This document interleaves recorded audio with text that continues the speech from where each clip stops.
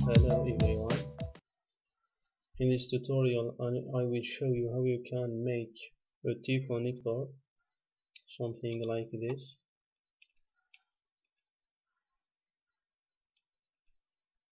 let's begin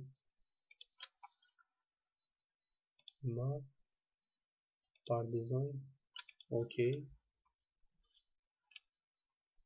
and choose the plan.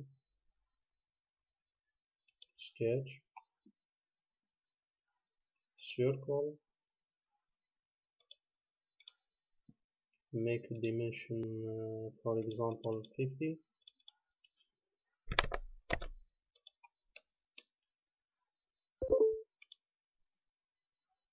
extrusion 60 and make sure to check on this checkbox. For symmetry parallelism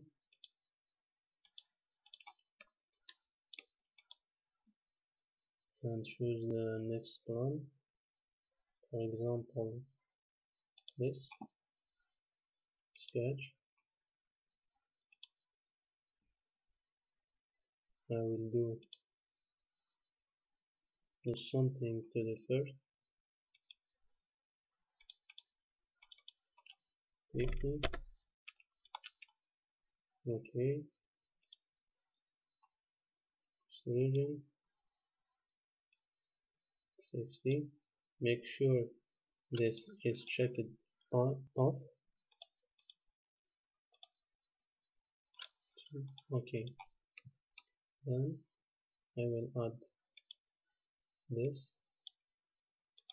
Here minimal 5 here and choose this person.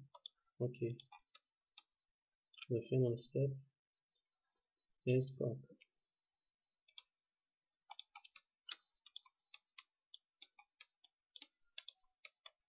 okay. Choose here 5 do okay.